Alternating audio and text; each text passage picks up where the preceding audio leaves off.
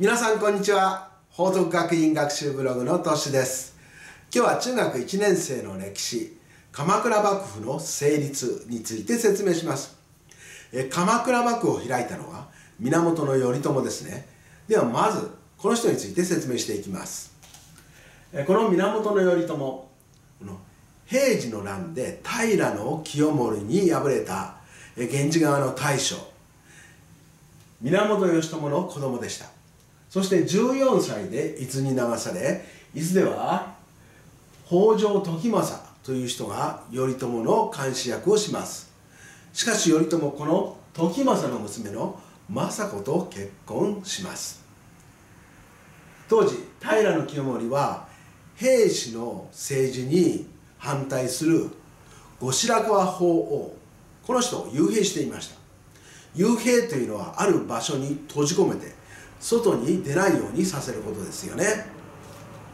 そして朝廷の政治を独占する兵士に不満を持つ貴族や武士ね。これが反発を強めていました。そんな中後白河法皇の子供の持ち人をこの人が兵士を倒す命令を出します。そしてこの命令によって各地の源氏が挙兵する。ね。軍隊を挙げて兵士を倒そうとする。このように世の中は動いています。もちろん頼朝も1180年、ね、兵を挙げます。当時34歳でした。しかし兵を挙げたからといって必ず勝てるということはありませんよね。まず最初負けてしまうんですね。この石橋山で負けてしまいます。石橋山というのは今の神奈川県の小田原です、えー、そこで負けて、えー、阿波の国千葉県ですね今の。そこまで逃げます。そこでなんとか体制を立て直して自分の本拠地である鎌倉に戻ります。そして次には藤川。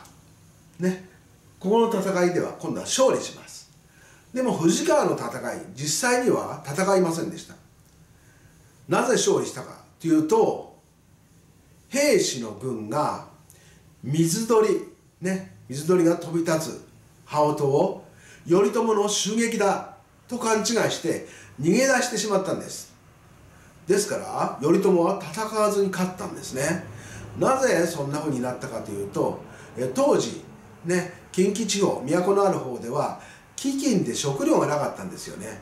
ですから兵士の軍隊はもう戦う気力がなかった。そこを奇襲されたので慌てて逃げ出した。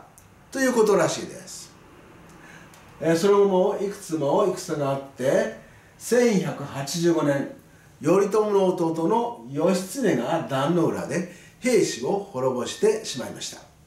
ね。えー、義経は活躍したのでお兄さんの頼朝喜んでくれる、ね、喜んで鎌倉に迎えてくれると思ったんですけれどそうじゃありませんでした。ねえー、義経は実は朝廷から官位をもらっていたんですね。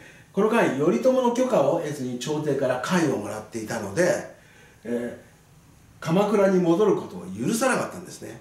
この官位をもらっていた人義経も含めて24人いたそうですこの全員が鎌倉に戻っちゃいけないというふうに言われたんですねなぜそう考えたのかというと、えー、頼朝にすればこの24人全て自分の家来なんですね。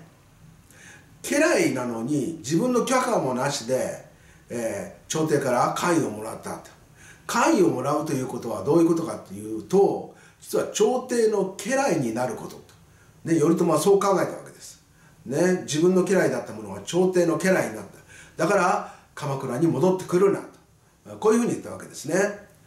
義経はなんとかこの頼朝にねいろいろ説明しようと思って鎌倉に向かうんですけど鎌倉に入れずに結局頼朝と会うこともできなくて京都に戻ります。その京都に戻った義経、えー、これに対して頼朝が四角暗殺者を送りました。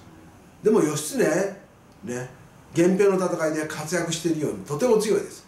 ですからこの資格は首を切られて、えー、暗殺は失敗しました。そうすると今度は後白河法皇が頼朝追討の命令を義経に出します。ね後白河法皇は武士の力を分散させて弱くさせたいわけですね。そのためにこんなことをやってるわけですね、えー、後白河法皇にすればきっと頼朝に不満を持っている武士はたくさんいて自分の味方についてくれる者が多くいるだろうと。こう考えたわけですが実際にはわずかしかいませんでした。それでこの計画失敗します。するとこのことを知った頼朝が怒って今度は朝廷に義経を捕らえる命令を出させるんですね。後白河法皇ね頼朝追討の命令を出していますからこれを断ったら自分が殺されるかもしれません。ですからこれを認めます。さらに義経を捕らえるために全国に守護と地頭を置くことを朝廷に認めさせました。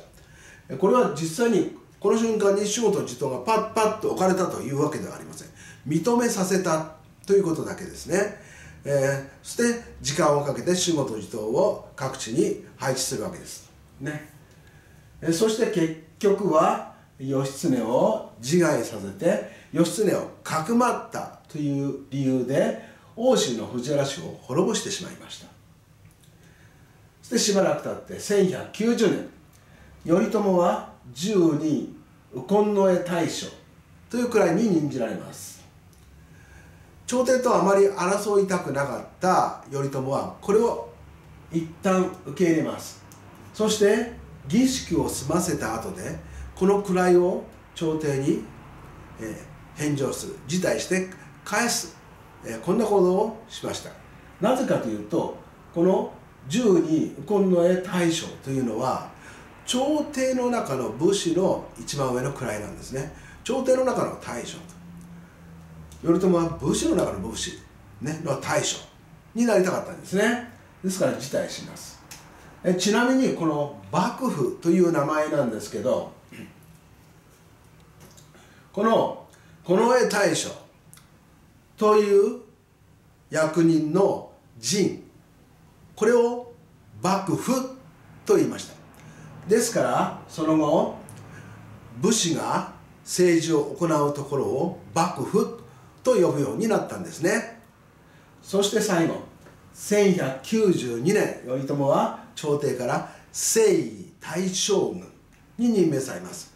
これで全国の武士を従える地位になったわけです。このようにして鎌倉幕府はできました。え今日も最後まで見ていただきどうもありがとうございました。ではまたお会いしましょう。さようなら。